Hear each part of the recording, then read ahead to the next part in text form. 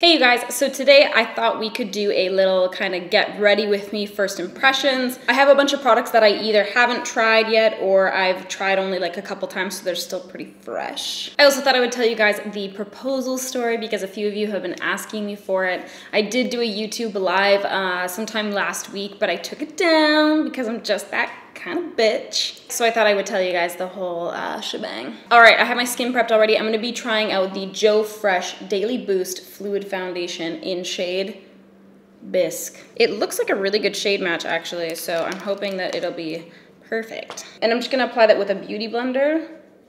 Ooh, lovely, okay. Shade match looks good. So for those of you that don't know yet, I got engaged. Basically what happened was a few weeks ago, Matt, my boyfriend, fiance now. He was like, why don't we go to the island? Vancouver Island. He was like, let's just invite a bunch of people. It'll be like a super chill weekend. We'll just like hang out in the sunshine and whatever. And I was like, is that my boyfriend saying this? Just to give you a quick synopsis of Matt as a person, he is perhaps one of the most antisocial people I've ever met in my life. And when he does have a day, wow, this foundation is beautiful. When he does have a day where he's like, okay, yeah, sure, I'll go out and socialize with you, it's kind of like we go, he's dreading it the entire time, before, during, after. And he's the first person to be like, all right, it's been like 15 minutes, let's get the fuck out of here. So when he brought this up, I was kind of like, hmm, that's really weird, but whatever. I was like, great, sounds amazing, can't wait, let's do it. So he found this Airbnb and it was really perfect the way that he did it because he was like, oh, why don't you invite this person? Oh, why don't you invite that person? Oh, why don't you invite this person?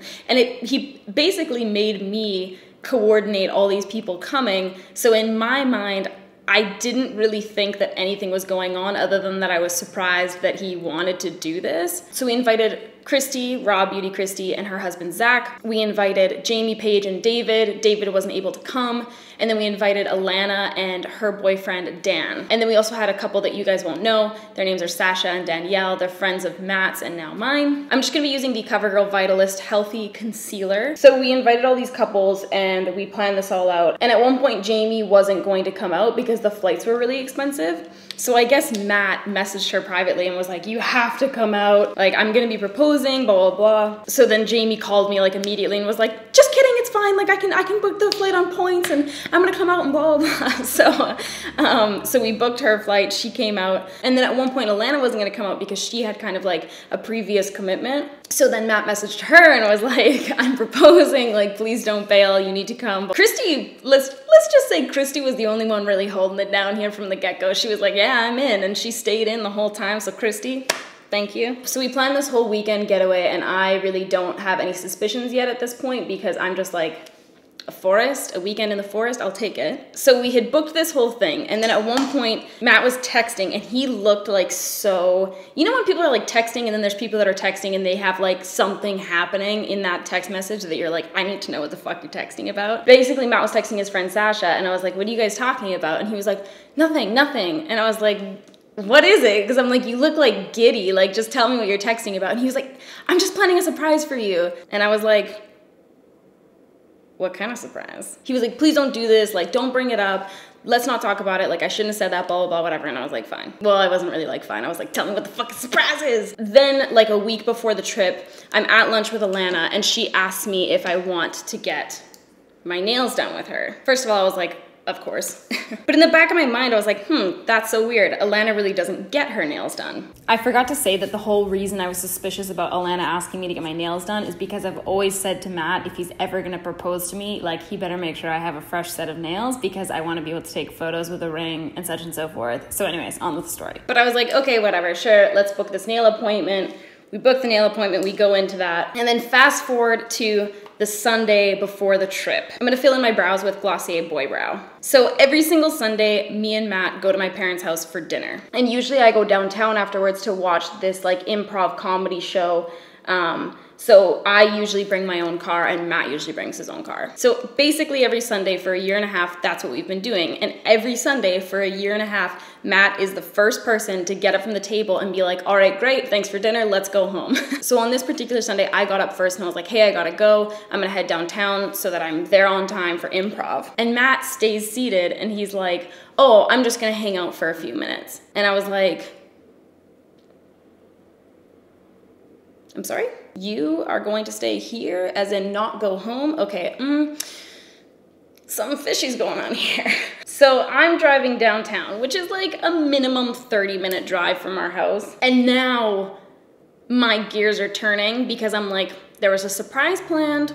Alana asked me to do my nails with her, which she never does. And now Matt's staying at my parents' house. And I was like, he's proposing.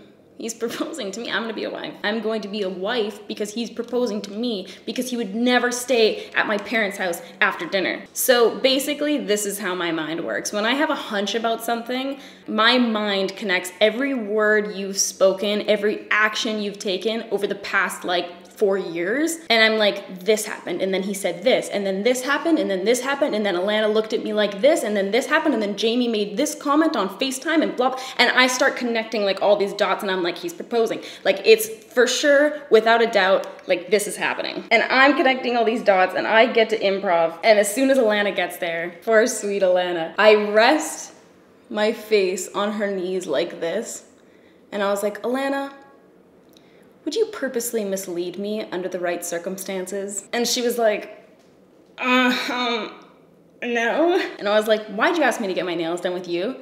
And she was like, I just need my nails done. And I was like, I think Matt's proposing. And I started telling her all these dots that I've connected, which normally, if your friend didn't know, they'd be like, holy shit, he's proposing for sure. But she was like, no, just like wants to hang out with your parents. You know, maybe he's just like lonely. And I was like, Alana, literally everything else that I've mentioned could have not happened just him staying at my parents' house is enough for me to be like, yes, this is definitely happening because it's so unlike him. And so the only thing in my mind that could have been happening there was him asking for my parents' permission. So I was literally like sick to my stomach, like nervous poops through the roof. Like I pooped twice while you're at improv. It's like a two hour show. I pooped twice. That's like borderline unhealthy amounts of nervous poops. But I just like, I couldn't stop thinking about it. Like I couldn't get it off my mind because I was like, this is happening for sure.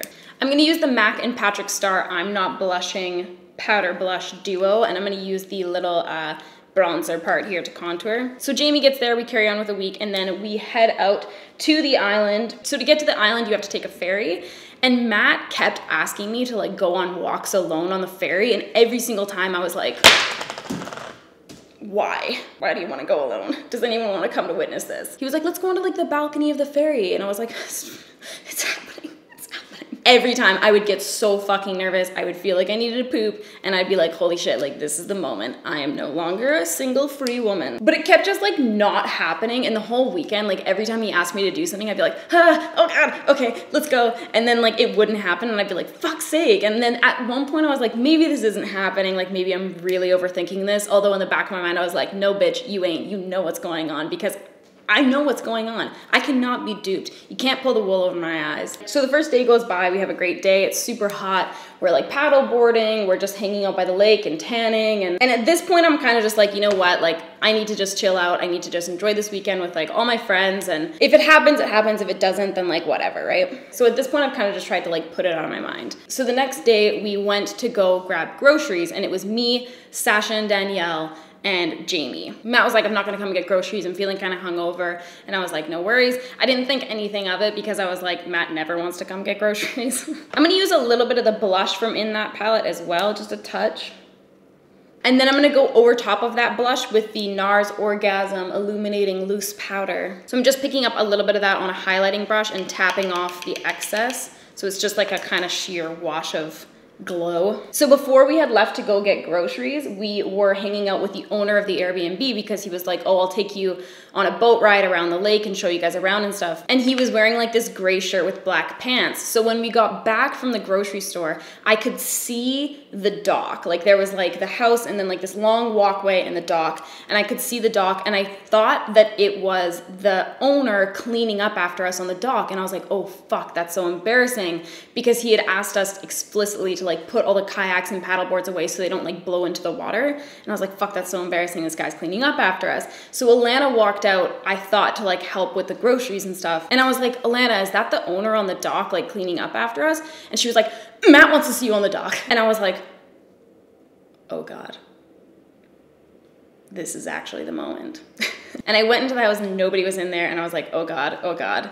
Everyone's in their positions. And then Dan, Alana's boyfriend, was like sitting on the balcony and he would not make eye contact with me. And I just saw Matt standing on the dock with all these like tea lights and a heart around him. And this was truly the longest walk of my life. Basically, to get down to the dock from the house, you have to like walk onto the balcony, down these steps, down this cement walkway, and then there's this long ass fucking dock. And Matt was like at the very end of it. It literally makes my hands shake just thinking about this moment because I was so fucking nervous. So I'm like bounding down this walkway because I'm like, let's get this shit over with. I'm gonna use the Anastasia Dream palette. I think I'm gonna use the color Wish right there. So anyway, I'm making my way down this fucking marathon like a gazelle. Matt proposed, obviously. He proposed and said his little spiel, and then he was like, this is a heart, referring to the tea light heart that we were standing in, and I was like, yeah, yeah, I caught that on my like 40 mile walk down here. Thank you. So it was a really cool moment. He proposed, we turned around, everyone was on the balcony and they all cheered and clapped. And then they walked down. Alana and Dan had brought like mini champagne bottles. We all had champagne. And then we just spent the rest of the weekend kind of hanging out and relaxing. And it was just, it was a really, really great time. So well done, Matt. It was perfect. So, anyways, that's the story of how I am a number one sleuth detective.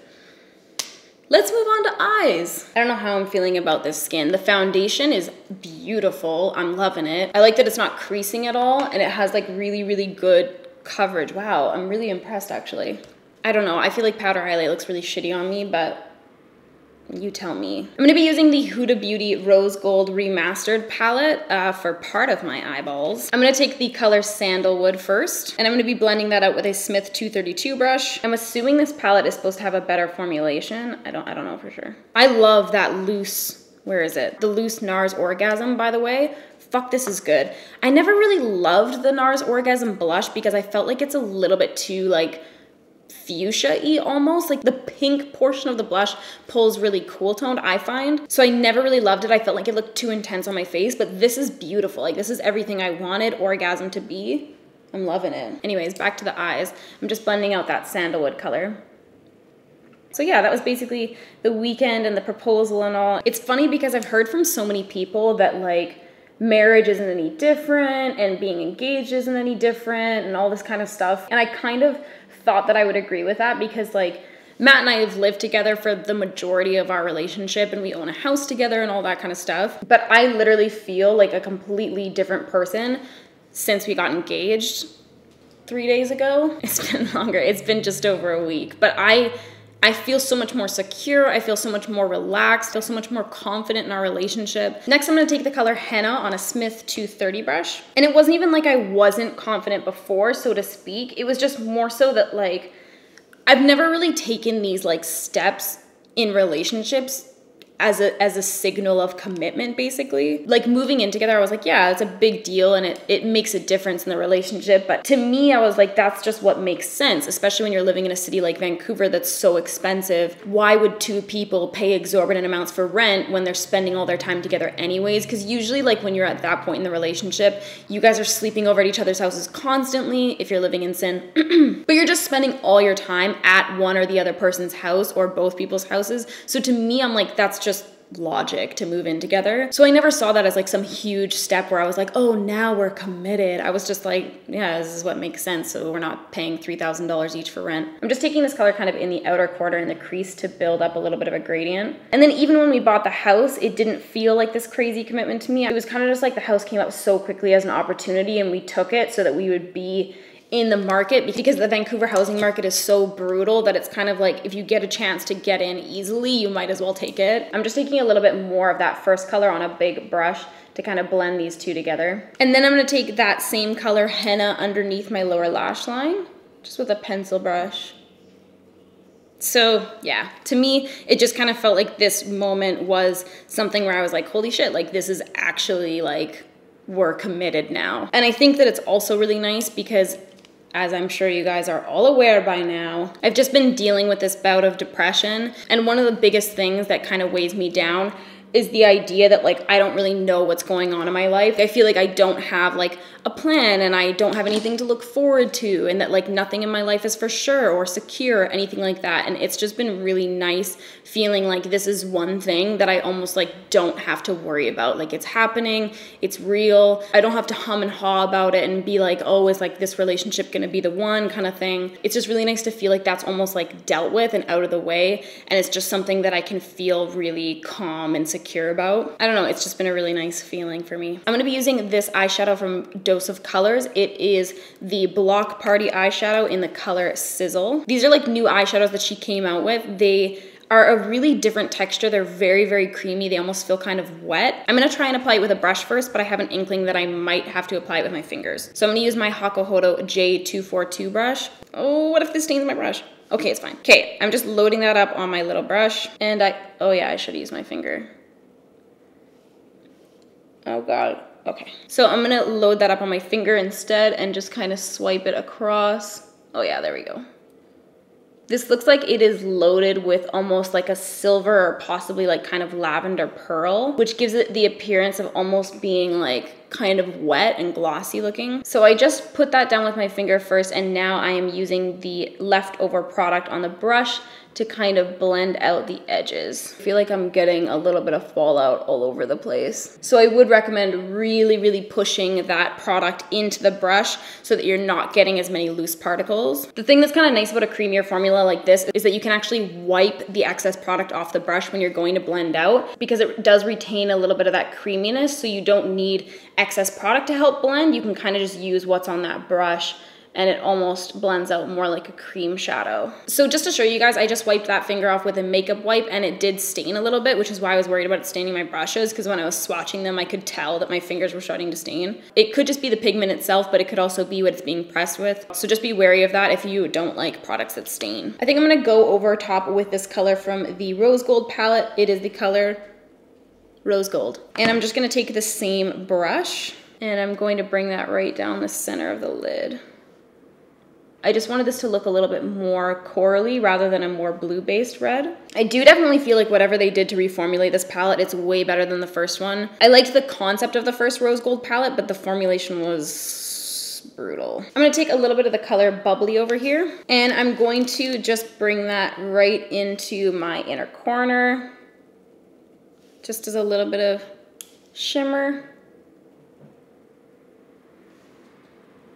Wow, I way prefer the formulation of this. The mattes seem a lot less dry, like they seem a lot easier to kind of blend out. And the metallic formulation is a lot less crumbly. Like it's really a lot more creamy feeling. So I find that I'm also not getting as much fallout with this palette as I did with the uh, first release. I'm gonna grab a little bit of the color Cocoa on my angle brush, and I'm just gonna concentrate that on my outer lash line in lieu of a uh, winged eyeliner.